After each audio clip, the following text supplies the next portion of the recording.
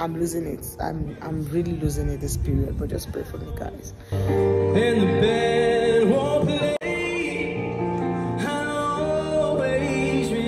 Social media is just a virtual part of our life. The reality of our life, half of it you guys don't see, you guys don't know. And the band won't play. I'll always remain. Hey guys, good morning and welcome back to the channel. This is the start of a new vlog. Now I know I'm coming to you guys not in my very energetic self. You guys, I have been dealing with a lot. Like my mental health is this close to getting shattered. But guess what? I still believe that there is a God that exists and I am not giving up. Neither neither am I going to back down. Not anytime soon. Not when I have a father that said I should knock and the door is going to be open. I should seek and I will find. I, I, I can't give up. Like, I've just been dealing with so much, so much. I don't even want to start crying. It's just been a lot. But we got to move. Anyways, guys, this morning, in fact, yesterday, I almost passed out. So I came back from work and I was in so much pains. If you have dysmenorrhea, very painful period cramps, you would understand what I'm saying. It's no joke. I've been dealing with this thing for years and years and years. And yesterday's one was so worse. I don't know if it's the weather. I don't know. Like I came back from work. When I came back from work, I I started throwing up. I first of all I live by myself. Normally, whenever things like this happen to me, my family is always around. My mom is always there to be with me at the hospital. I have my sisters. I have my siblings always there to support me, you know, and guide me whenever I'm having this period of pain. But since I moved to this country, I've been dealing with it just by myself. And yesterday's one was so much that I was so by myself and I couldn't get any help. I was just I was just dealing with it. I was just throwing up and in my head I'm like, what if I pass out here and nobody knows what's going on with me? Even the medication that was given to me did not seem to be working. It was just so worse. Anyways, this morning I woke up and I went to my GP with me. I don't think anything is going on, but it's just what it is. I've been dealing with it for years, but I just want to let you guys out there know that if you're dealing with painful menstrual cramps or you have people around you dealing with it, you guys should be kind to them. You guys should look out for them. You guys should support them as much as you can support them. Encourage them to go to the hospital. You never can tell what it is. I'm very sure it's nothing, but my GP said I need an ultrasound, and whenever that's going to happen, I'm going to share it with you guys. But but for now, it is what it is. Yeah, welcome back to the channel. Don't forget to subscribe, like, share, and leave a comment in the comment section. This is the start of a new vlog, and yeah, pray for me, guys. Pray for me because I'm losing it. I'm I'm really losing it this period. But just pray for me, guys. Yeah, I want to go to church now, and as usual, I don't take you guys inside church, but let's go, guys.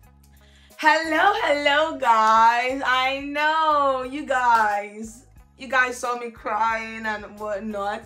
Not like I'm feeling better, but you guys know that the energy needs to come back. First and foremost, we are in charge of our emotions. We tell ourselves how we want to feel. We bring out ourselves from any situation. We are in charge of our happiness. We're in charge of our sadness. Even sometimes when we are drifting, we need to go back to the drawing board and look at where did we start. Where, in fact, look at where we started from and where we are right now. Like, the difference is clear. So yeah. And the good thing is my parents actually called me and my dad spoke to me, okay? My mom spoke to me as well. You know, even my younger brother was like, Big sis, how far? I know you're going through a lot at this moment, but I trust you to always bounce back bigger and better. And my dad reminded me that I have a God who listens. I have a God who likes giving me the best a God that does not shame me. So whatever I'm going through to the being, because my God has said it in his words, I will never leave you alone. He's going to open doors even when it seems like it is closing. On a very good day, I'm going to sit down here and share with you guys what I have been going through. Because, bro, even yourself, you go choke. But yeah, anyways, I just wanted to come and tell you guys that we have a nice sponsor for this video. And this video is sponsored by no other person than Astra Watch or Astra Straps. Okay? now, Astra Straps, they are like a company. They are in charge of different kind of straps for your wristwatch. And today, they have been kind enough to send me a strap for my watch. So I'm going to be testing the strap today and we're going to be seeing how it suits my hand and I'm going to be showing you guys what's in this package. Every information you need about Astra straps is going to be in my description box. You don't need to be going about using the same watch the same strap for your watch all the time but you can use the same watch all the time now my watch is milkish or whitish in color there's some outfits that i wear and i'm like this watch is not giving me the vibe i want so astra strap has sent me a gold strap which I'm going to be trying on. So you guys can buy various kind of straps. Instead of buying from Apple, you guys know that I went to Apple to buy a strap. And the amount they told me for that strap, it choked me. And guess what? It was less than a week that I went to Apple to ask for a strap. And my father in heaven told Astra Strap, message this girl, she's in need of a strap. So yeah, use my code showing on your screen to order yourself an Astra Strap, okay? Change your watch. You don't need to change the strap. You need to confuse your enemies now and forever. So let's get into the strap changing, okay? Yes, yes, yes, yes.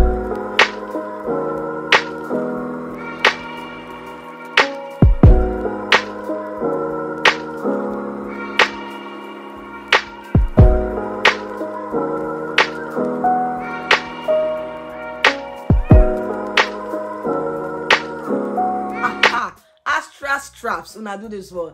Can you guys see the way my wrist just transformed? Take a go. Take a look at me. Look at me now. Like I don't need to worry myself if I'm going for an event anymore. Whether my gold jewelries are going to match with my wristwatch because babies, Astra straps got you guys covered. So head on to their link. Go to my description box. Use my discount code to get something from Astra Straps today. You guys know I bring you guys to bless. What's wrong with my English today? you guys know that I bring you guys the best plugs. Nothing but the best plugs. So if you have bought something from Astra Straps before, or you buy something from Astra Strap, please do let me know. And they have different kind of straps for different kinds of watches, okay? Yeah, let's continue with the video. I'm actually seeing this Hunt Game through and I've laughed my head off. Yes, guys, let's continue.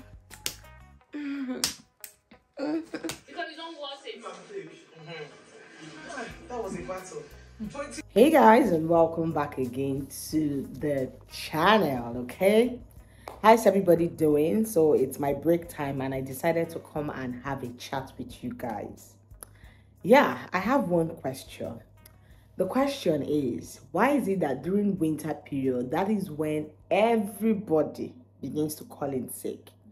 Is it that the weather is too cold or the snow is too much or people are just they don't want to just come out and work or what? I want to know the reason behind people not coming out during winter to work.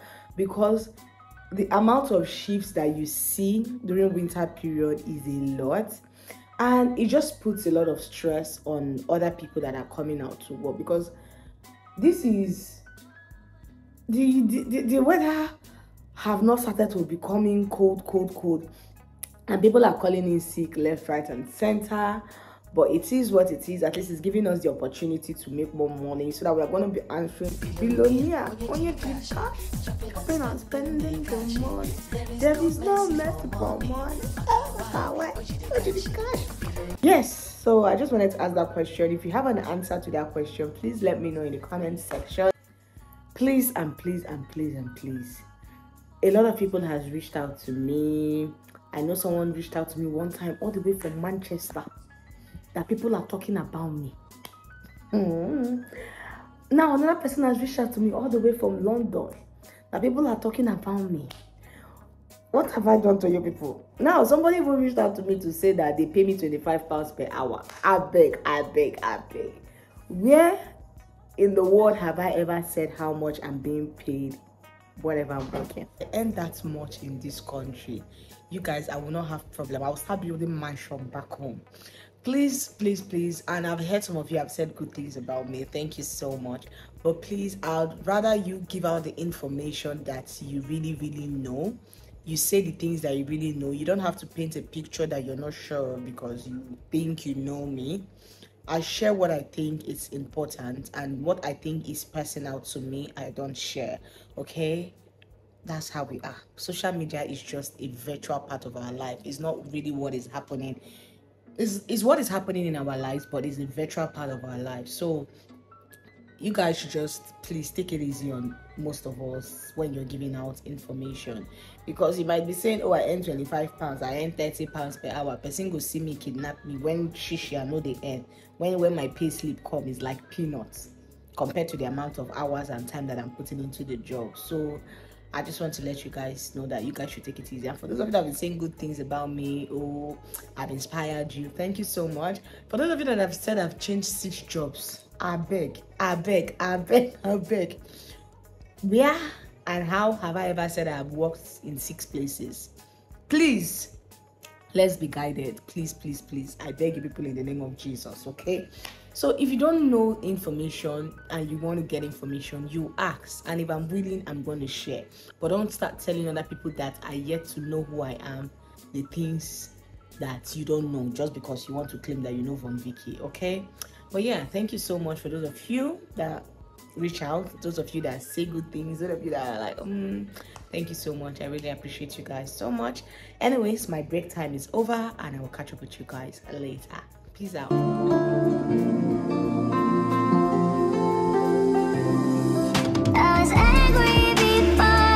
Hey you guys and welcome back again to my channel. It's a brand new day, okay?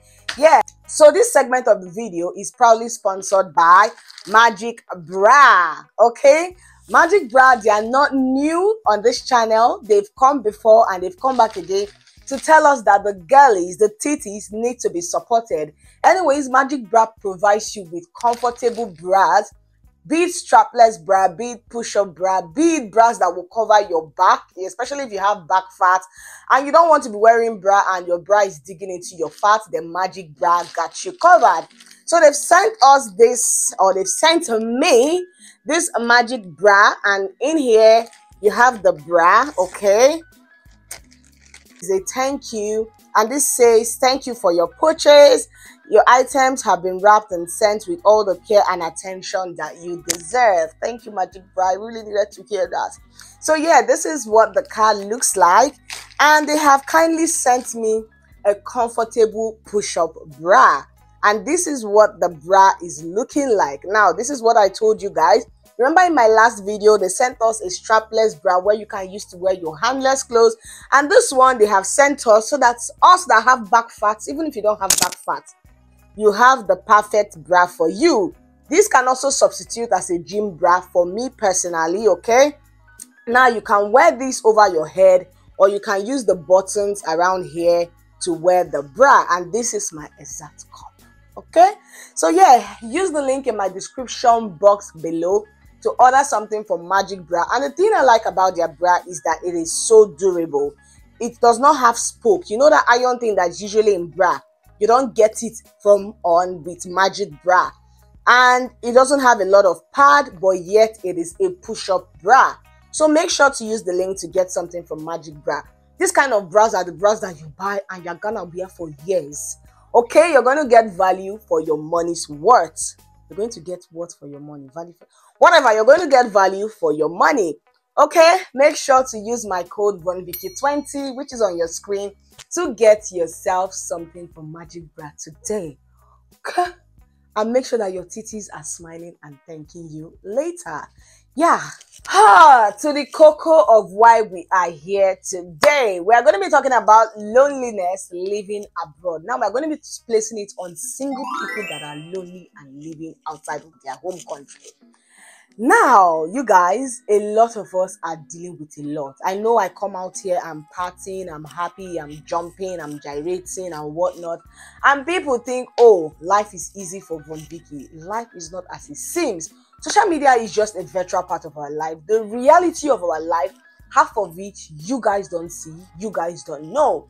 Now, plenty of people have come out to make videos about loneliness. There was this um, trending video on Instagram it's a while ago about a young girl in Canada crying so badly that she feels lonely, nobody's checking up on her and whatnot. Now, there's another video of Tina I saw her where she made a video of saying, talking about skilled immigrants in, in Canada and what they go through. Now, if you don't know Tina I saw her, she's a YouTuber based in Canada okay? She moved from nigeria on the PRU um, visa and she moved to canada. And she spoke about how she's been struggling to get her life together. Now this is somebody that is married and she has two kids. Now talk about people that are not even married and they are navigating this life by themselves outside of their home country. Now let's use myself as example you all know that i don't come here to give you guys negative vibes it's all about positive positive vibes but i think it's high time that we spoke about this now, why am I speaking about this personally? Watching all these people's videos, it has motivated me to talk about it because I have a couple of friends that has reached out to me and I'm like, and I'm and they're like, how far? How are you? And I'm like, I'm dealing with something. Like, eh, me too, I'm dealing with something. They don't understand the intensity of what we deal with, especially those of us that are outside of our comfort, uh, those of us that are outside of our home country. Now, I don't have a family. I'm not married. My siblings are not here. My parents are not here. I am navigating this life here by myself. Nobody to call when it's time for emergency because, again, I am doing it by myself. And when I'm telling somebody, oh, I'm going through a lot, I believe you should be kind to me and to other people that probably would be feeling this way. You don't need to start comparing yourself when you're back home and you have the support you need. I know finances and whatnot are not great back home in my country, but yes, when you have people that are there for you, if I am sick, guys, I am the one doing it. There was the day when I talked about my dysmenorrhea, I came back from work, I literally passed out after throwing up. Now, when I recovered, I was the one that had to stand up to clean my vomit. I had to stand up to clean my environment. I had to stand up to take a shower.